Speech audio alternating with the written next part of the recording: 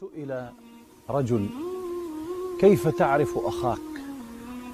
فقال الذي يحمل همي ويسأل عني ويسد خللي ويغفر زللي ويذكرني بربي. فقيل له وكيف تكافئه؟ قال أدعو له بظهر الغيب. قال شيخ الإسلام ابن تيمية رحمه الله تعالى مثل الأخوة في الله كمثل اليد والعين. إذا دمعت العين مسحت اليد دمعها وإذا تألمت اليد بكت العين لأجلها.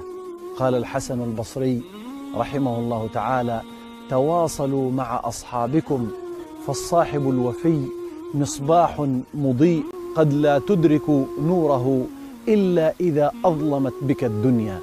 اللهم اجعلنا إخوة متحابين فيك آمين آمين. والسلام عليكم ورحمة الله وبركاته.